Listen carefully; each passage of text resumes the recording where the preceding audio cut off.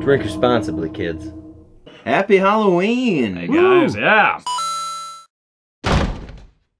Spooky. We've gotten ourselves a whole bunch of Baltica. Mhm. Uh, I smuggled in some uh, I- illegal alcoholic energy drinks from Canada. Mm-hmm. Some And- Contra. Contraband. And in honor of this contraband, we're going to play Clock Tower. Clock Tower. This game was released 1995. It is a horror, adventure, survival, sort of Jennifer Connelly style game. I was So it- 10. And as a special treat, we're gonna rock the WonderSwan version. Oh, Ooh. So this game was released in 1995. It was only for the Super Famicom, at least to start off with.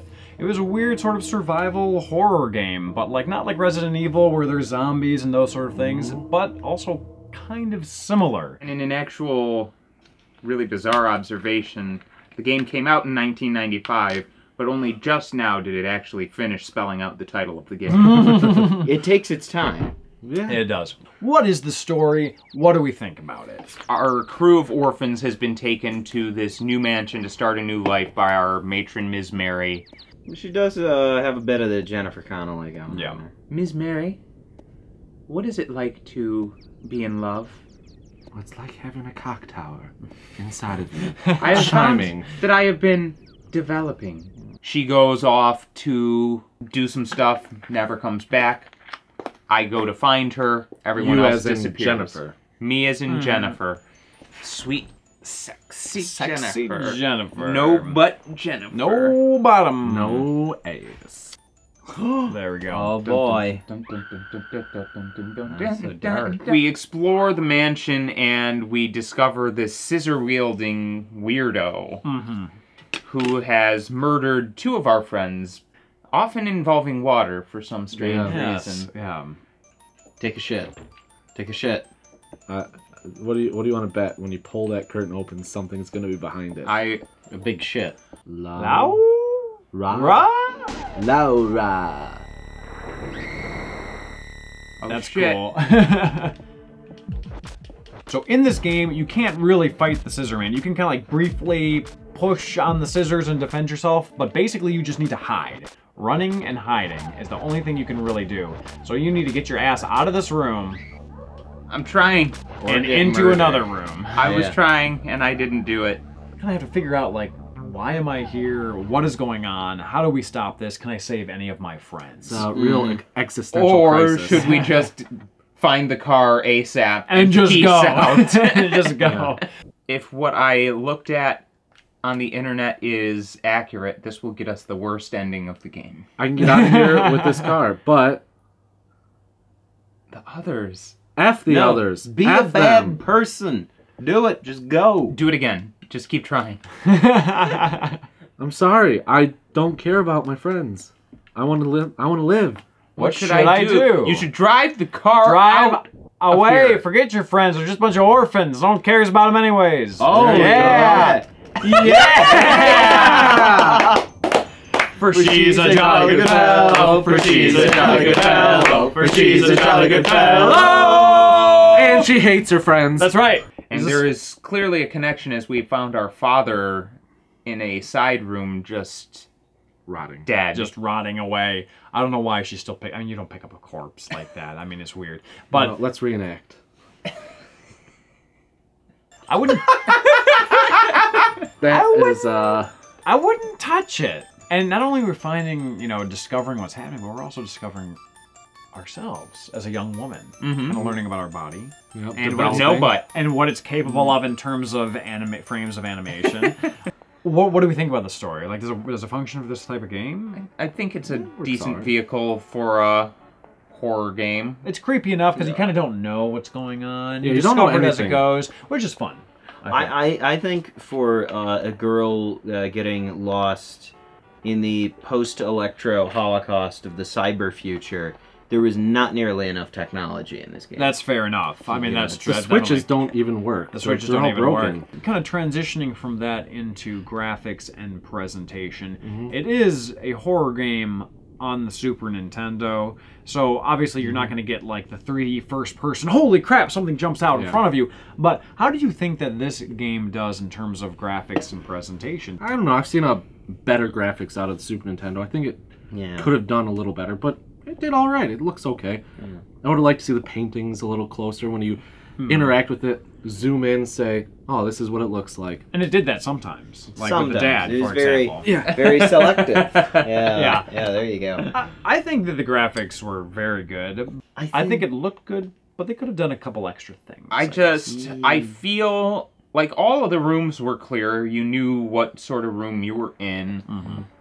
But the hallways, it was easy, Yes. extremely easy to get Yeah, lost That's in. right. Yes. They, the, only a few of them were unique. That just drove me nuts. That it was just like I was like when I saw like oh okay this is green this is blue this is purple all right. Mm-hmm. but then it was like vast vast areas were green blue purple mm-hmm. like and then both upstairs and downstairs there wasn't like a wainscoting or anything like that to set it off. So like, in the presentation, they could have used like a map or something to differentiate a little a bit more. Basically. A map or would have been something huge. stylistic. Yeah. A map would have been amazing. Now. Right, like have wainscoting on the first floor, just a chair rail on the second. It'd be nice. And it could have been a map Design that like tips. populates as you explore the mansion, so Yeah, you that don't would be just cool, have yeah. everything all at already once. in this game. You're kind of meandering around. There's not much music. It's very creepy. You just kind of hear footsteps, and then it kind of intelligently utilizes music only for when you're being chased. Mhm. You know what I mean? Like suddenly you, it goes from nothing to just clap, clap, clap. Is there something gonna happen? And then holy crap! Like the Scissor Man's coming after you, and the music's playing, and you're like, holy shit! I need to get out of here. And then finally, it slowly calms down again. And I think that overall, the music works. I wouldn't mm-hmm. mind something a little ambient for when the Scissor Man isn't chasing you, though. I would like a little bit more of a transition, but I do think that they do a good job of contrasting the two states. Things Maybe going, even just something you that like built with her like emotional level. Sure, yeah. Because that's something I feel like I missed out on. Like we played almost all of the game in her red zone, yeah. Yeah. and I never felt any Well, well- psychological terror when we were not being chased by it the was Scissor Man. her time of the What was month. the time of the month? God, this review is really, really sexist. But that's okay. I mean, like 98% of our viewer base is guys, you mm-hmm. know. Now we can have the the, the viewer statistic. here. The slide like- whistle. yeah, exactly. Gameplay itself, like one of the things that I was, you know, deb- always debating on regarding this game is did it- Master debate. master debating was did it function better as a point and click esque game, which is kind of what the interface was like, or would it have been better if you could just freely control Jennifer Connelly? Oh, no, no, it's going, it's going. We're going in here. We're going in here. No, girl. No, girl. I don't think it would have been bad as a hmm. point and click game if we had a mouse. Yeah. Okay. With the D-pad, Yeah. I wasn't loving it. Yeah. I just felt like it was too hard to, even though the cursor did lock onto key objects, getting it to actually get to that lock point was still more of a chore than it, It was needed to difficult. be. Yeah. Yeah. But it wasn't like difficult in a meaningful way. It was just clunky. Yeah. I mean, I guess when the Scissor Man is, is, is you know, when Bobby or whatever his name is, is running after you, like, I mean, it kind of helps to be like, okay, I have this brief moment where I can lock onto something and she'll do this animation where she can escape. Oh boy. She's I'm like, He's like, what is this bullshit? Versus, I guess if it was more free roaming, maybe you couldn't have made it there. You, yeah, I don't know. Like, I'm not exactly sure how it would have worked, but I do think it was cool that they limited your choices when you were being chased by Bobby. Like you couldn't. you couldn't go investigate a book. You know, like it's like, oh, Yeah. well, let me read That, this. for that was probably so that you wouldn't accidentally click those things. You'd be like, oh, is that? Well, that looks Oh, there's scissors in my ass And then again. you know it just, you just get ah. murdered. It was probably limiting your choices to things that would actually benefit you. What do we think about this game, Clock Tower for the Super Famicom? I'm not exactly. What do we What do we think about this game? Come on in here, get in tight, Get in frame. here. What do we think about this game, Clock Tower Super Famicom Halloween episode? Go ahead. I'm not the biggest survival horror person, so I can't really say how it stacks up oh. to the Resident Evil and Silent Hills of the world. But I would still say that this game is a solid, like, seven and a half. I Okay. I enjoyed what I was playing. I wanted to figure out where the story was going. I was interested in what was happening. And I don't want to give any lower than that because I don't want to be yelled at by all the people that it's uh, developed a cult following for it. I say F you to all of them. It's a six. oh! I am also gonna go with a six, just because it had a lot of clunkiness, and I don't think it's aged terribly well.